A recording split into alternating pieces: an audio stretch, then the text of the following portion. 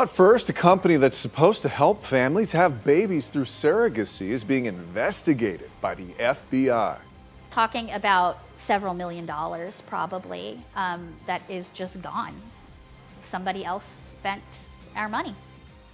The business, which collects big payments from intended parents and transfers the money to surrogates, abruptly shut down. Thanks for joining us tonight. I'm Matt Austin. I'm Ginger Gadsden. Now, people who were hoping to start or expand their families through surrogacy say they have lost thousands of dollars. News 6 investigator Mike DeForest spoke with a local couple who cannot get their money back. Hi.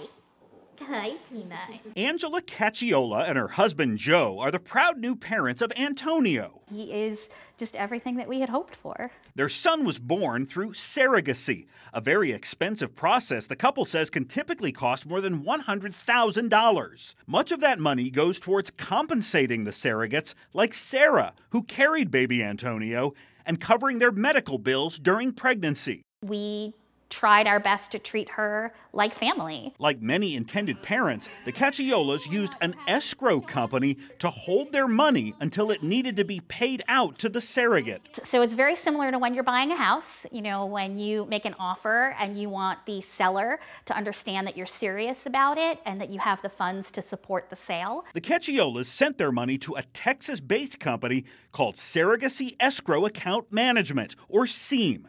Their slogan, We'll handle the money, you handle what matters. But earlier this summer, SEAM abruptly shut down.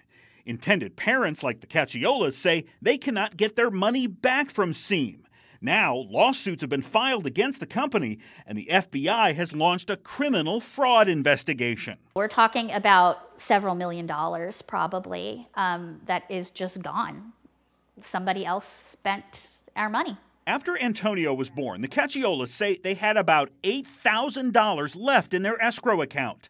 That money was supposed to be distributed to Sarah, but the couple says Seam never sent her that payment. Because she is owed that money and we're responsible for it, um, we had to come up with that money again and pay her directly. The Cacciolas feel fortunate because their son was born and most of their payments had successfully gone through. People are just desperate at this point. Families just beginning surrogacy say they've lost tens of thousands of dollars. It's super emotional, yeah, because we don't know how we can move forward to have our own child at this point. According to Seam's website, the company was run by Dominique Side. That's mine.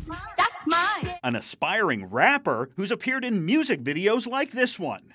According to one lawsuit, Dominique's side may have been misappropriating the escrow funds for years in order to bankroll Dominique's other business ventures and lavish lifestyle. Side did not respond to our questions. In an email to our sister station in Houston, Side said she was aware of an active investigation by federal authorities and is not permitted to respond to any inquiries under the advice of her attorney. A Texas judge has frozen the company's assets while the litigation is underway.